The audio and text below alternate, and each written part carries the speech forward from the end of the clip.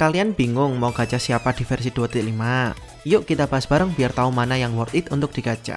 Untuk banner yang rilis di versi 2.5 ini, terdapat dua karakter B5 baru, Fei Xiao Lingsa, satu karakter B4 baru, Moze, serta bakal ada empat karakter B5 yang riran, yaitu Robin, Kafka, Black Swan, dan Topaz. Dari keenam karakter B5 ini, mana sih yang worth it untuk digacha duluan? Oke, karakter yang admin saranin untuk digacha duluan adalah Robin, jika kalian belum punya.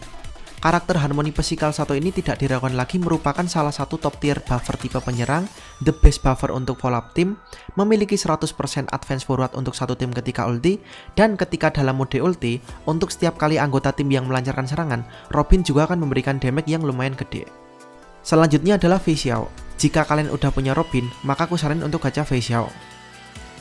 Untuk Black Swan dan Kafka ini merupakan satu paket tim DOT. Jadi kalau kalian suka Momi gas ayolah, waifu adalah meta coy. Di patch keduanya, bakal rilis karakter abunden api baru bernama Lingsa. Kalau kalian punya E6 Geller, sebenarnya Lingsa ini nggak perlu-perlu amat. Dan yang terakhir adalah Topaz. Karakter ini merupakan the best sub DPS untuk tim Vola Attack.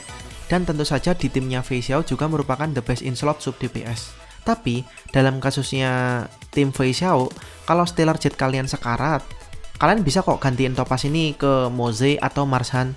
Lagian, Topaz waifu gue, jadi kalian skip aja lah. Cuh cuh.